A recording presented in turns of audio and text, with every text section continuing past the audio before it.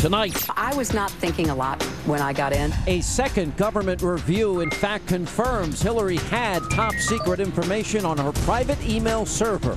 I didn't really stop and think um, what, what, kind of email system will there be. Mark Steyn is here with reaction. So I think this is devastating to Hillary Clinton's campaign. Then the Kentucky county clerk who was jailed for refusing to betray her religious beliefs has been set free. Thank you all so much. Former Arkansas Governor Mike Huckabee is here tonight with reaction. Lock me up if you think that's how freedom is best served. And Donald Trump surges past Hillary Clinton in a brand new poll. Laura Ingraham and Steve Hayes have reaction. All that plus Thomas Sowell weighs in on the Black Lives Matter movement. Hannity starts right here, right now. Welcome to Hannity, and tonight a second review of Hillary Clinton's emails by two government intelligence agencies. In fact, confirmed that top secret information was in fact on her private server, and that the information was classified at the time that she received it. And earlier tonight, Clinton actually apologized, finally, for her email scandal. Watch this. That was a mistake. I'm sorry about that. I take responsibility. Uh, and I'm trying to be as transparent as I possibly can. And joining us now with more is Ed Henry. By the way, not only it was the top secret designation, the highest classification available. She had denied this repeatedly. Why the turnaround? Well, Sean, this is uh, an independent review by the intelligence community, so she's not admitting that there was top secret information. That's why there's no turnaround from her. Uh, the intelligence community, though, is uh, bolstering their case, as they've previously said in that first review, that they believe there was classified and, in a couple of cases, perhaps top secret information. This is challenging her narrative yet again. That's in part why she's do doing these interviews. That ABC part about saying, I'm sorry, uh, she's trying to clean up Friday's interview with NBC News, where she stopped short of an apology and said she was only sorry that this had been confusing to voters. Also at work here is that after joking about her email, she's trying to show a more contrite tone in these interviews. Today in the New York Times, her campaign admitted this is part of a poll tested approach. They said after a recent focus group where voters said uh, they wanted to hear more on the emails, they decided to get more transparent and she started taking more questions from the media. Her advisors, ironically, revealing in this carefully coordinated leak to the New York Times, they want to bring more spontaneity to what has been a cautious campaign and that they actually have a strategy to have Clinton show more humor and heart. Well, veteran and Democratic strategist David Axelrod tweeted, quote, today's New York Times story on HRC read more like The Onion, her detailed plan to show more authenticity and spontaneity. Hashtag just do it. To show that more spontaneous side, Clinton herself retweeted an MSNBC clip of her answering personal questions. At one point, she was pressed about whether she prefers emailing or texting. She actually laughed and said, email that may have been off message, especially as you say, on a day when we're learning the second review by the intelligence community is saying there was, in fact, classified information in that server show. And we're supposed to believe, as this New York Times piece points out, that she wants to show more humor? I, I don't exactly look at Hillary and think Chris Rock, Larry the Cable Guy, or Jimmy Kimmel. So uh, well, it sounds kind of manufactured, and I'm not surprised that David Axelrod thinks it's silly. I think that's what Axelrod is exactly trying to get at, which is you remember uh, George H.W. Bush at one point saying, message, I care. Uh, you know, taking a poll tested message from advisors and sort of spitting it out to voters, you don't come across as authentic. Same problem for Richard Nixon, the wingtips on the beach. Uh, the, Hillary Clinton has a problem connecting with middle class voters, even as she pushes a middle class message. That is why the campaign is very worried, and that's why they're trying to shift course tonight. But, but also remember the, the words that come out of people's mouths that describe her were not very flattering. First word was liar. So uh, let me ask you about this, this State Department employee that was being paid to monitor the server that was in the closet of the bathroom of the mom and pop organization uh, that will plead the fifth. What do we know about this employee? Did he report the income? Did they report it to the State Department? Well, that may be one reason why he took the fifth, because in our, the early reporting we've done suggests he did not report uh, to the State Department, to the federal government, that he had made extra money uh, on the side. That could be a reason why he's told Congress, and we're told also told the FBI uh, that he doesn't want to testify uh, because of, of, fear of self-incrimination. Uh, we don't know the full story. We only know part of it tonight. I think the other issue here is don't forget what happened uh, on Labor Day. Vice President Joe Biden was out on the campaign trail and was hearing from voters, run, Joe, run. Uh, and he said, look, go talk to my wife, uh, suggesting the door is open, but he's still perhaps trying to get his wife on board, Sean. All right, Ed Henry, thanks so much uh, covering the Clinton campaign for us. Now, the author of a brand new book joins us, A Disgrace to the Profession. The one and only Mark Steyn is with us. You know, I don't even know what to think of this. This campaign is in significant, in my opinion, legal trouble. I mean, you have this poor clerk in Kentucky, we'll talk about in a second, uh, you know, handcuffed, right. perp walked, fingerprinted, mugshot, right. and put in jail. And right. now we've got Hillary Clinton's campaign saying, oh, they want to show that she's funny. I don't look at Hillary Clinton and yeah. see Larry the Cable Guy. I don't see Chris Rock. I don't. Well, I, I just don't see it. Well, actually, uh, as uh, David Axelrod pointed out, it's hilariously funny uh, to have your campaign spokesman announce that you're planning to be more spontaneous. I mean, I gather that Hillary's director of spontaneity has announced that she's going to be spontaneous this Thursday, uh, 2 p.m. at Bud's Diner in Nashua, New Hampshire. So if you're there, you'll get the chance, and you're and you've undergone the background check, you'll get the chance no, to see Hillary way, and, be and spontaneous sign, this Thursday. If you sign the loyalty pledge before they let you into the event. I mean, it's getting a little crazy. Yeah.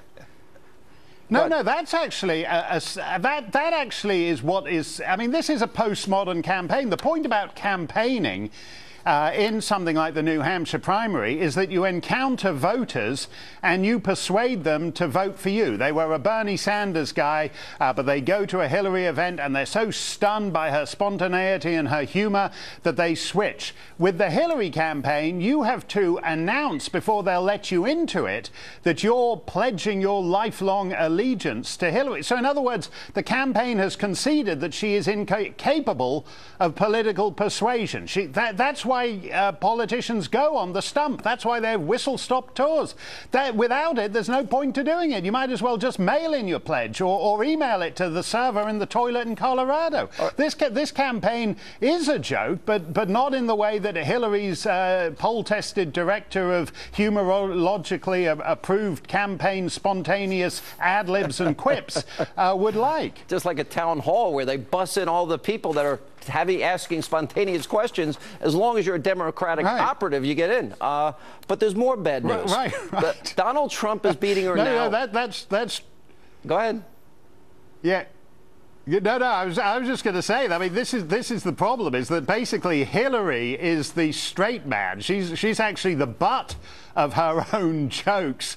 Uh, and that is why this campaign, uh, to, to announce that you're suddenly going to be lightening up and everything, it's just that's never going to work. Uh, you, you can't make it. Look, either you have it or no. you don't. To her husband's credit, he's got that. You're the only person that matters to him in the world if he meets you. She doesn't have his warmth. Right. She doesn't read a teleprompter like Barack. She's got problems. Latest poll Donald Trump beating her five points uh, in a head to head matchup. Bernie Sanders up nine points in New Hampshire gained on her significantly right. in Iowa. Joe Biden's numbers are now going up. And, you know, now mm. we have a second review of only 40 emails, and they have determined, yeah, there was top secret information about North Korea's nuclear program, including satellite imagery. She lied to the American yeah. people. Now it's a legal issue. Don't you think that's her bigger, should be her bigger concern at this moment?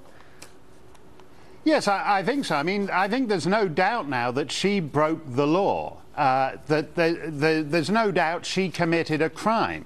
And she committed a crime uh, that if she were anybody else, she would be in jail for. And as you mentioned uh, a couple of minutes ago, it's happened at a time when uh, a, a low level uh, county official has, was dispatched yeah, I... to jail.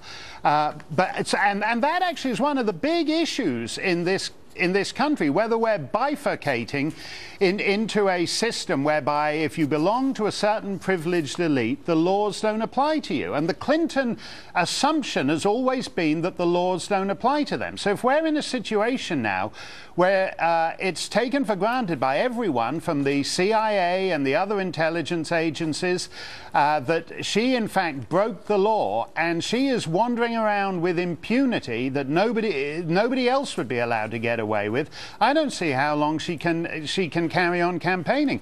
And Joe Biden, uh, you know, in, in 2008, uh, the Democrats were told Hillary is the heir presumptive. Let her get on with it and win the nomination. And she loused it up She defeated herself. This time round, uh, Joe Biden was told again Hillary is the heir presumptive, and she's lousted up again. Yeah. And, and the fact is that neither he nor any other Democrat should sit around just watching this slow motion train wreck. Let me just go back and, and remind people as, as big as this email server is getting, she was the one that was excoriating the Bush administration uh, for, quote, using private mm. emails. And she also admitted at an, on another time oh, that she didn't use uh, an email or write anything down for fear of being subpoenaed. You may remember these.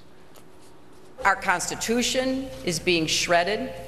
We know about the secret wiretaps. We know about the secret military tribunals, the secret White House email accounts. It is a stunning record of secrecy and corruption, of cronyism run amok. Are you keeping a, a diary? You keeping good notes of what's happening? Heavens, no. It gets subpoenaed. I can't write anything down. All right, so she admits she doesn't write anything down, Mark, and then she excoriates no. them for a secret email. You know, and then there's all the other lies. This is why people, the number one adjective people, unsolicited, the word they use to describe her is liar. Remember when she said she landed in Bosnia under sniper fire? Let's remind people. Right, right. I remember landing under sniper fire. There was supposed to be some kind of a greeting ceremony at the airport, but instead we just ran with our heads down to get into the vehicles uh, to get to our base. All right, now, uh, Mark, I'm showing video right now. I'm going to show the video of her actually landing in Bosnia.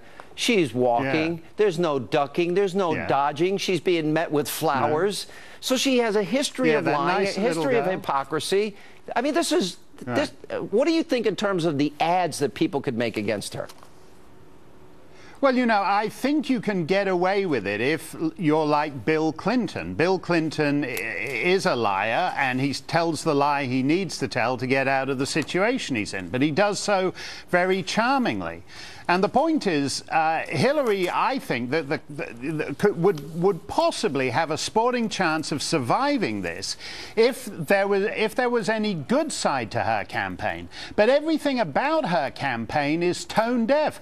Uh, when she was endorsed by Jeanne Shaheen in New Hampshire over the weekend, she had this uh, ridiculous uh, uh, choir of uh, arrhythmic white NPR listening women pretending to do some Negro spiritual where they'd substituted Jesus' name and replaced it with Hillary. I don't know whether that's, uh, you know, who, who, thought that was a great idea, whether they're going to do that with every uh, well known hymn. What a friend we have in Hillary. Uh, she she walks with me and she talks with me and she tells me poll tested jokes. I don't know whether they're going to do that with every uh, beloved hymn, but the fact is there's no upside. It's not as if she's she's a, a great uh, rogue, which is what Bill well, Clinton is, and you know he's an unprincipled rogue, but he gets away with it because the charming bits are very charming. Here, when she's not being criminal, uh, she's just being wooden and unlikable, and the and the well, and the danger for the Democrats is that Bernie Sanders will end up sneaking this thing away from her in Iowa and New Hampshire, and her so-called South Carolina firewall is going to crumble too. Absolutely. Not, that strategy won't work. I, I don't think that's going to work either. By the way, if they ever change Amazing Grace to Amazing Hillary, I'm done. I'm out. It's over. We've lost.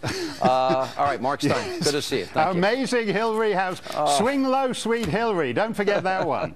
I won't forget all the great hymns. All right. And coming up next tonight, right here on Hannity. I just want to give God the glory. He is, his people have rallied, and you are a strong people. The Kentucky County Clerk who refused to issue marriage licenses to same-sex couples was finally released from prison earlier today. Governor Mike Huckabee was with her today and will join he'll join us next along with Kim Davis's lawyer. And then later, Hillary Clinton would actually lose to Donald Trump in a head-to-head matchup according to a recent poll. We'll check in with Laura Ingraham and Steve Hayes next here to respond.